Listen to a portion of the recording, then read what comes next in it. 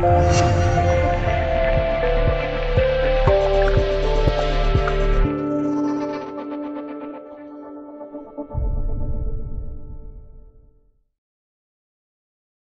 江诗华在山东西王男篮面前，第四节的富邦勇士俨然变成了金州勇士。单节取胜山东男篮十七分，从落后十四分到领先三分，无疑山东西王男篮短时间内没有让人看到希望，甚至两场热身赛下来，单看得分，古德洛克的二十分为队内最高，但那只是凭借相当多的出手机会换来的，其得分效率明显不如丁彦雨航。而且其处理球的合理性保守质疑。作为一名小外援，如果不能在把控节奏上给全队帮助，恐怕很难融入到全队体系中去。如果说面对三星闪电只是古德洛克的第一场比赛有些生疏的话，那么第二场比赛丝毫没有好转。关键的第四节传球被抢断，强行三分出手偏的离谱，全场比赛下来几乎没有像样的突破。按正负值来衡量的话，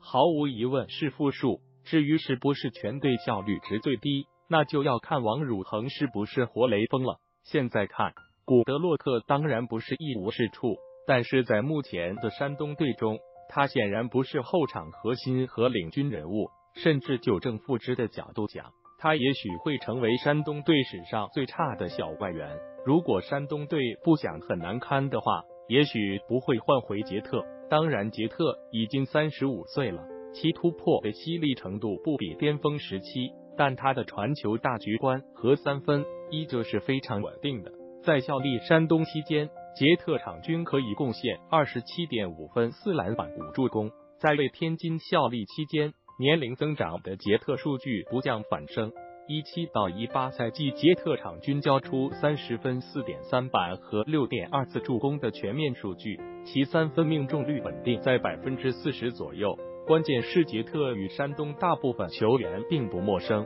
磨合起来应该没有问题，就看山东男篮如何取舍了。